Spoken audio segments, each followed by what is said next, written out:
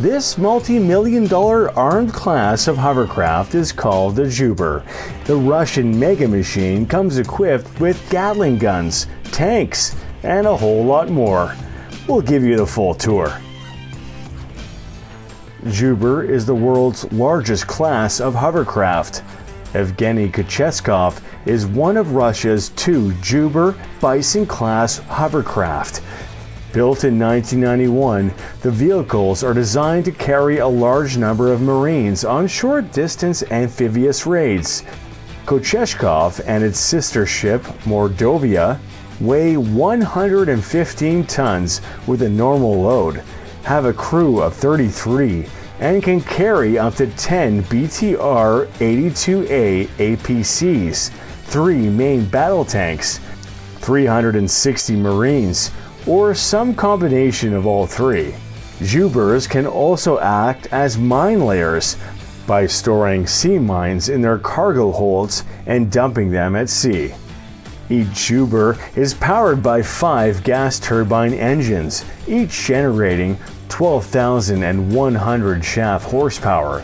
Two of the gas turbines drive blowers to maintain skirt pressure that keep the hovercraft floating on a bed of trapped air, while three of the turbines are mounted on enormous pylons at the stern.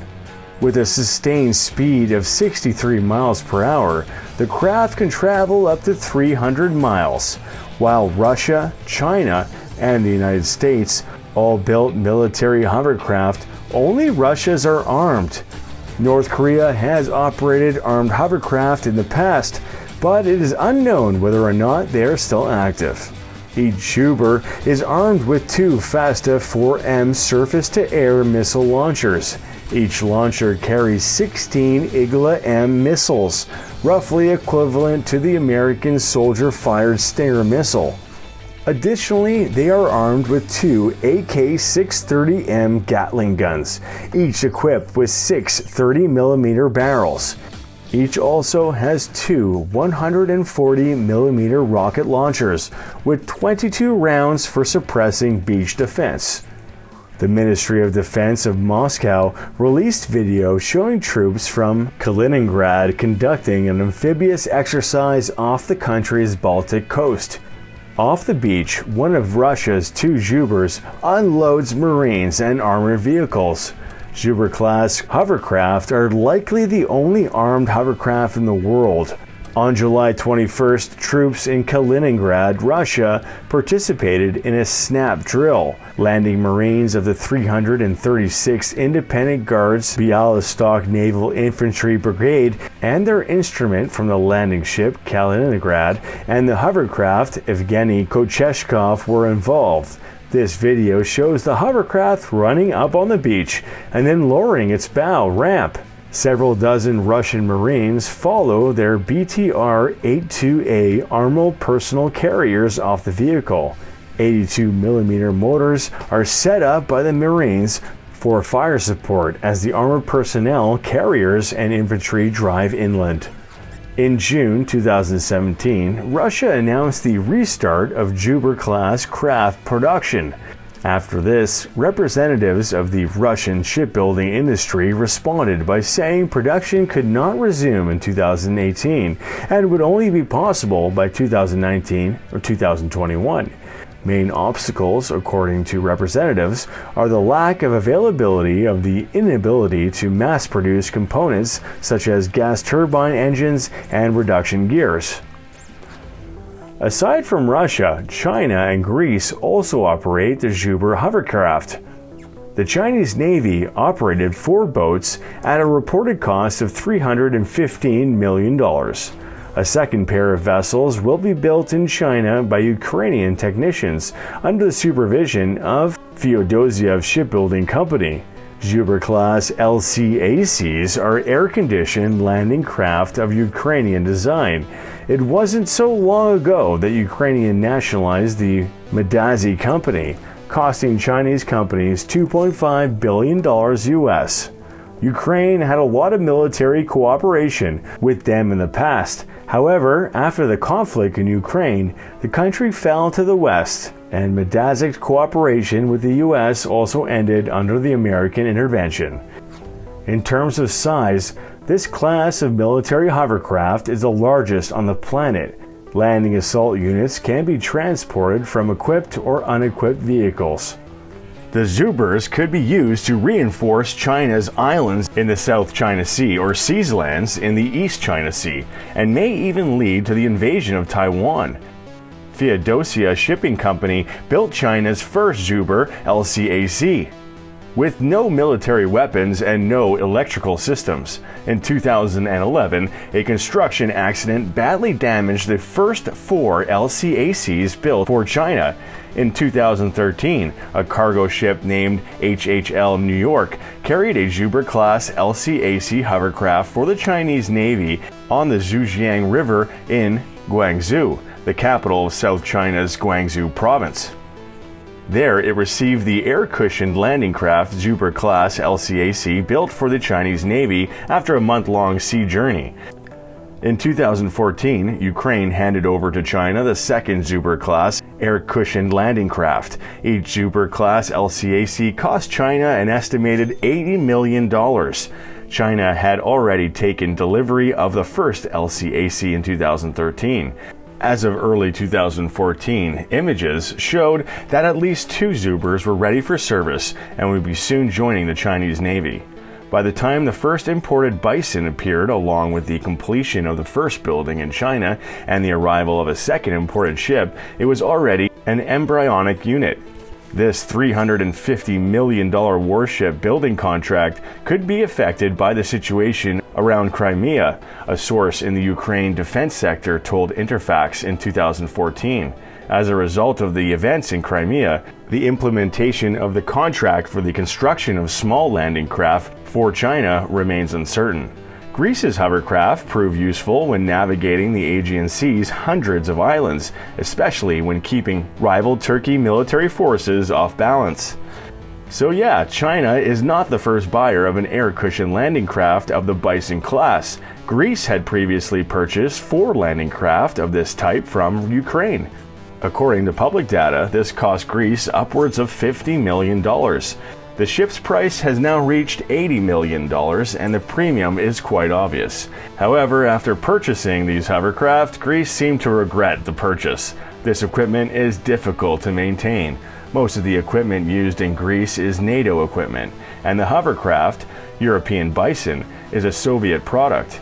The UGT 6000 gas turbine prototype is the NK-12 turboprop engine on the Tu-95 bomber, that's a lot of numbers and letters, but basically, it's notoriously difficult to maintain. As a result, the Greek Navy possesses only European Bison class hovercrafts. The ship's shipboard armaments include an AK 630 near anti cannon, a 104mm multiple rocket launcher, and a MTU 2 short range air defense missile. In compatibility with the shipborne weapons of the Greek Navy, these weapons are very difficult to maintain as well. The U.S. Navy operates several dozen landing craft air cushioned, smaller, shorter range landing craft designed for ferrying troops, vehicles, and supplies from amphibious landing ships to shore. The LCAC can even transport M1A1 main battle tanks. In the near future, the new ship to shore connector will replace the unarmed vehicles, Zubr, while unique, probably won't last very long. The original boats were delivered in 1991 and were only meant to last 16 years. The world's largest civil hovercraft is the SR N4 type. Propulsion is provided by four Rolls Royce Proteus Marine turboshaft engines, each with its own lift fan and pylon mounted steerable propeller. SRN4 was the largest hovercraft van ever built, featuring two cabins for 254 passengers and a four lane automotive bay for 30 vehicles. It was 131 feet long, weighed 193 tons, and had a top speed of 83 knots or 95 miles per hour and a cruise speed of 60 knots, that's 69 miles per hour. SRN4s operated regular service across the English Channel from 1968 to 2000. Following operator requests, stretch versions of the SRN4 were developed. culminating in the Mk3 variant, and could carry almost twice as many cars and passengers as the Mk1. Although the type was considered for military use, no vehicles were deployed. They are now mostly decommissioned, but you can still see them in a museum. Essentially, they just weren't cost effective. For the amount of fuel they take and the maintenance costs, combined with a lack of common comforts to the mode of travel, it just wasn't a feasible method of transportation in a majority of instances. If you're interested, the cost for a recreational hovercraft can be available as low as $19,500 and up to $36,000 with options. Rescue hovercraft can range from 28,000 to $79,000, and commercial hovercraft from $36,000 to $90,000. Trailers range from 3,000 to $12,600. Air cushion vehicles of the BHT series are extremely versatile and can perform a wide range of operational functions. They are intended to withstand heavy use on a daily basis. Based on British hovercraft technology, the Ranger vehicles are available in two versions full well tech and half well tech. Besides carrying passengers and freight weighing up to 22.5 tons, this ship can operate in a sea condition of up to 2 meters and considerable waves. This ship can also operate in inland waters. Four diesel engines provide both lift and push, providing a great deal of power in case of an emergency. The SRN-6 hovercraft, also known as the Winchester class, was a larger version of the SRN-5 series hovercraft from the former Saunders Roe and later the British Hovercraft Corporation. The SRN-6 is a medium-sized hovercraft that is designed specifically for passenger transportation. Original models of the type could accommodate up to 38 passengers, which was more than the maximum of 18 passengers these smaller SRN5 models could accommodate. SRN6 was later expanded to accommodate an additional 20 passengers, bringing the total to 58 seats. As a military configuration, the SRN6 became the first hovercraft capable of transporting a full coach load of passengers. SRN6 can carry up to 55 fully equipped troops or 6 tons of equipment. An English company, Griffon Hoverwork, developed the Griffon 8000 TD series of hovercrafts.